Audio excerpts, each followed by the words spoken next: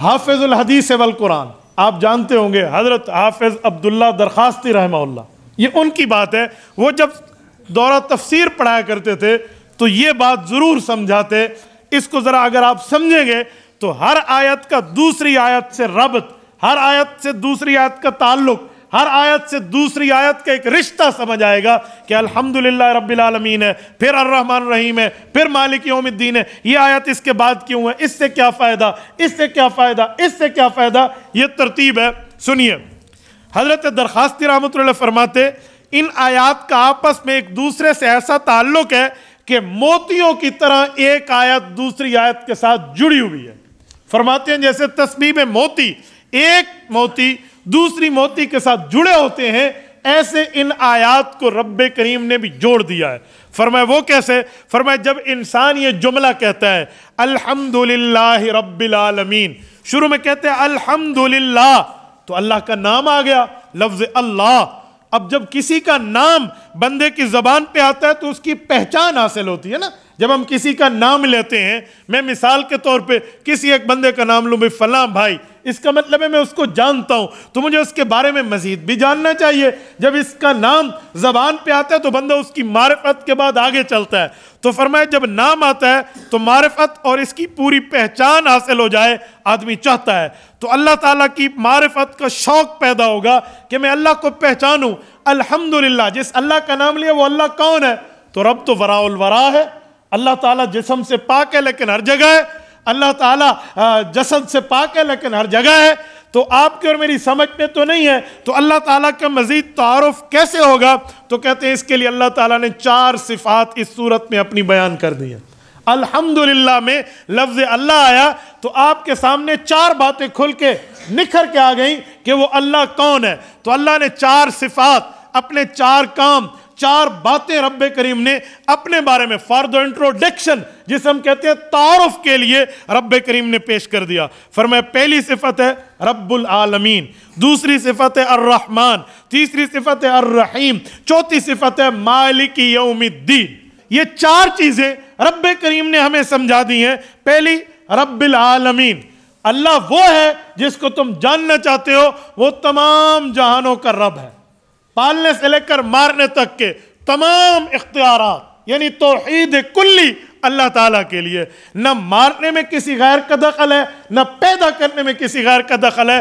रब चाहे तो बच्चा बच्ची पैदा हो, रब चाहे दोनों को मिला के पैदा करे, रब चाहे कुछ भी ना पैदा होने दे।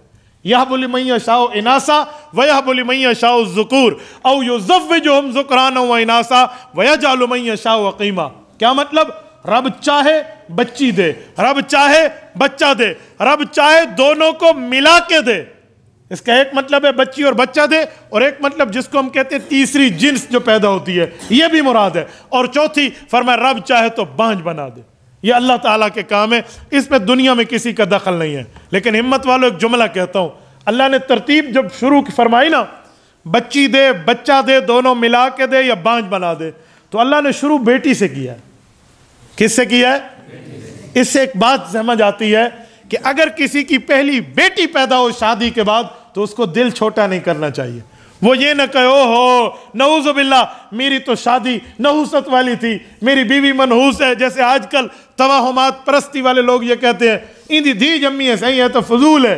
तो अल्लाह ने शुरू, थनऊ खुदा धी तो की था शुरू पहले पहले अल्लाह ताला ने बेटी से किया है तो पहले घर में बेटी पैदा हो तो इसीलिए इसका बुरा नहीं मनाना चाहिए, बल्कि ये समझे तरतीब फितरत है। बल्कि ये समझे ये तरतीब कुरानी है। और आपके और मेरे पाक पैगंबर हज़रत मोहम्मद अलैहि वसल्लम के घर में पहली जो जो पहला तोहफा आया है, वो रहमत का है। हज़रत जैनब रज़ी अल्लाह रसूलुल्लाह की पहली बेटी है। इसीलिए पहले बेटी पैदा हो तो कभी दिल छोटा ना करे। मेरी अल्हम्दुलिल्लाह चार बेटियाँ हैं। तो मेरी बेटी पर, बेटे भी हैं अल्हम्दुलिल्लाह। तो एक हमें दोस्त कहने लगा, आपकी चार बेटियाँ हैं। बेटे, माशाल्लाह दो तीन उनसे कम हैं तो। कभी दिल में नहीं आता कि बेटियाँ ज़्यादा हैं। मैंने कहा, अल्लाह के बंदे, ये तो अपने बस की बात नहीं होती, लेकिन अल्लाह ताला ने करम करके मेरी चार बेटियाँ मुझे देकर रसूलुल्लाह की चार बेटियों से नस्बत फरमा दी इस पे कौन सा दिल छोटा करे बंदा? इस पे कौन सा दिल छोटा है अल्लाह के बंदे? तो कभी भी इस पे दिल छोटा ना करें। तो पैदा करने से लेकर मारने तक तमाम इख्तियार किसके अल्लाह था ऐसे ही मौत है, मौत किसी के हाथ में नहीं है।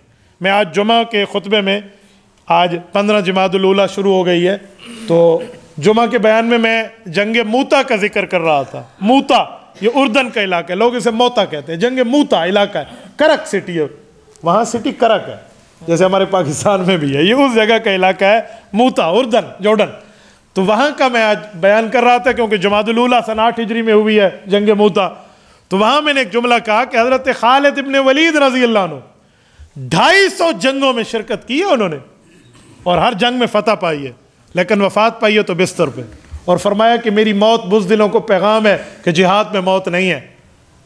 कि जिहाद में अगर मौत होती तो मैं शहादत की मौत किसी काफर के हाथ से लेता, मैं बिस्तर पे फौत हो रहा हूँ। लेकिन हमारा ईमान और अकीदा है, अल्लाह ताला उस शख्स को, हजर पाक ने फरमाया, जो सच्चे दिल से शहादत की तलब करे, अगरचे शहीद ना हो तो बिस्तर की मौत भी शहादत वाली रब बना देते। लेकिन उन्हें शहादत की मौत जंग वाली नहीं आई। तो इससे पता चला, मौत अल्लाह के हाथ में जब चाहे रब दे दे। जुमा के खुतबे में आप हदीस पाक सुनते हैं ना, अला व इन तस्तक मिल रिज कहा फरमाए जब तक मुकम्मल रिज्क अपना पूरा नहीं कर लोगे, उस वक्त तक मौत नहीं आई। तो मौत और हयात का मालिक कौन है? अल्लाह।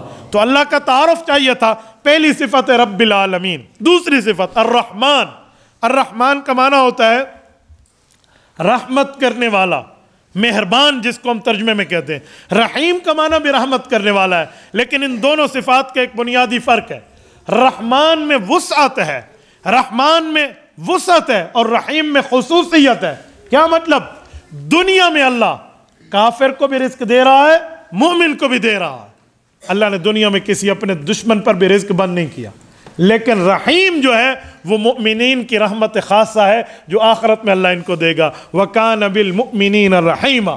सूरत नंबर तैतीस, सूरत आज़ाब तो मुमिन के साथ रब की सिफत रहमत वाली, रहीमियत पे और दुनिया में रहमान के तौर पे रब सब के साथ है। इसलिए फरमाया गया कि अगर अल्लाह के नज़दीक दुनिया की इज़्ज़त एक पानी के कतरे जितनी ये मामलात होते ना, मसलन सुने, हदीस पाक में लौकानत दुनिया इंदल्ला जनाह बरूजतिन मा सका मिनहा शुरबत काफिर।